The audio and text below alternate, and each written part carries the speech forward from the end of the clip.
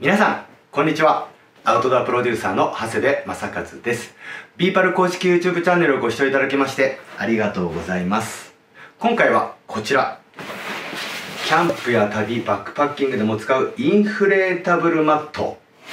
こちらなんですがちょっと値が張りますしそして様々なメーカーからいろんなのが出てるんだけれどもどうしてもこの高い値段に見合った能力があるんだろうかっていう風な方が結構いらっしゃるんじゃないかなと思いまして、えー、僕は今回これ20年以上使ってきた中で、えー、たった2つのポイントを押さえておけばこのインフレータブルマットの能力を最大限に引き出せるっていう方法をご紹介したいと思います。キャンプマットといっても様々な種類がありまして例えばスポンジ系クローズドセルとかいろいろ呼び方がありますけどこういうまあ1枚のスポンジでできているものですね、まあ、これに関してはどちらかというと冷気をどうにか遮断しておいて、えー、少し寒くないように寝られるタイプっていう風に思ってもらえるといいと思います。そしてこちらとっても軽い。空気だけを入れて膨らませる。エアーマットっていうタイプですね。でそれに対してこちらがインフレータブルマットになるんですけれども、まあ、これ厚さは様々ありますが大きな特徴としては先ほどのスポンジそして空気のハイブリッドになっているっていうことなんです。でこの特徴がとてもよくできていて個人的に気に入ってるんですけれどももしも穴が開いてしまっても空気の部分の心地よさは減ってしまうんですがどうにかスポンジの能力部分で寝ることができるっていうことなんですね。もっともっとマットについて詳しく知りたい方は是非こちらをご覧ください。インフレータブルマットを活用するためのポイントその1です。その1はこのスポンジ部分にあります。この自動拡張機能っていうものです。まあ簡単に言うとバルブを開けることによってこのバルブから空気を吸い込んでスポン縮まっていたスポンジが元に戻っていく力を使っておおよそまあ、半分弱ぐらいまで空気を勝手に吸い込んでくれるっていうことなんですね。なのでエアータイプと比べて空気を入れる量っていうのは圧倒的に少なくなりますので使用する時に楽になるっていうわけなんです。ちょっと試してみましょう。もちろん、えー、スポンジに関しては劣化もありますしそしてさらに使用する前に一度バルブを開けてお日様に当てておくとさらにこの空気の膨らみ具合っていうのが速くなりますのでまずはお手入れっていうのも必要になります。で実際に同じマットなんですけれどもまあこれぐらいの差があるわけですね。でこれにバルブいろんなメーカーによって違うんですけれども開けておくとこのスポンジが元に戻る能力でだんだんだんだん膨らんでくれるっていうわけなんです。ちょっとこのまま置いてみたいと思います。で先ほどのぺっちゃんこだったものに対してえ少し厚みが出てきました。これがスポンジがぺっちゃんこだった半真空状だったのが元に戻る力で、え吸い込んでくれた分量ですね。なので1から膨らますよりも、まあ、圧倒的に空気を入れるのが、え楽になるっていう風なわけです。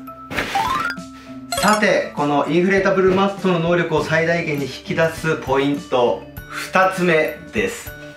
こちらを押さえていただければ最後に快眠の世界に行けるというわけなんですけれどもまああのエア式もそうなんですけれどもこういうインフレータブルマット要するに空気を入れるタイプのマットって多くの方がとりあえずパンパンに空気を入れるっていうケースが多いんですね。でもちろんこういうタイプちょっと薄手のタイプのインフレータブルマットに関しては、まあ、結構圧力があるぐらい結構パンパンになるぐらいまで入れておかないと地面の凸凹が気になってしまうっていうケースがあるんですけれども、まあ、昨今よく販売されている、えー、他社いろんなメーカーで出てますけれどもこういう分厚いタイプのインフレータブルマットスポンジとのハイブリッドのマットに関しては、えー、パンパンに入れてしまうと実は寝心地が100%発揮できているとは限らないんです。どういうことかというとバルブを開けることでまず空気の入り具合が調整できます。でスポンジとの兼ね合いで、えー、例えば今パンパンな状態です。でこれを空気の抜き具合によってまあおおよそなんですけれどもちょっと抜いてあげると、まあ、ふわふわの心地よい浮遊感があってなんかソファーで寝てるぐらいの気持ちよさになったりとか、えー、もう少し、えー、しっかりと空気を出してあげるとふかふかのもうなんか空気の上水の上みたいな感じの寝心地に変わったりしますのでその圧力具合で、えー、ご自分のもちろん体重とかも関係してますので、えー、ご自分の一番寝やすいエアーの入り具合に調整することができます。でそうすることによってこのインフレータブルマットの能力が大きく変わるっていうわけです。ちょっとやってみましょう、まあ、今エアーをパンパンに、えー、入れた状態ですね。でこれに対してちょっとエアを抜いてみたいと思います。はい。今ほんのちょっと抜きました。そうすると個人的には体のへこみ具合が心地いいかなと思っていて例えばテントの中で本を読んだりするときに個人的にはちょうどいいですね。でもうちょっと抜いてみましょう。よっ。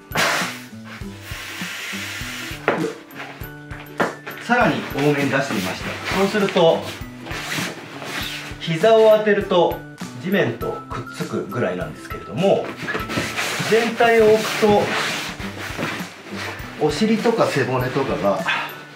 ちょうどよくてでも空気みたいにただのふわふわじゃないのですごく寝心地がいい状態かなっていうふうに感じます。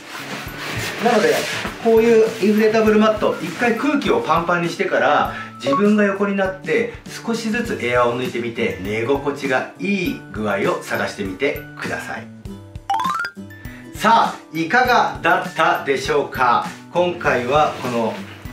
スポンジとエアハイブリッド式インフレータブルマットの能力を最大限に引き出す2つのポイントをご紹介させていただきました。え1つはこの自動拡張能力っていうのを活用しましょう。そしてもう1つ目が空気の入れ具合を調整して、えー、最適な寝心地を探してみましょうということでこの2つさえ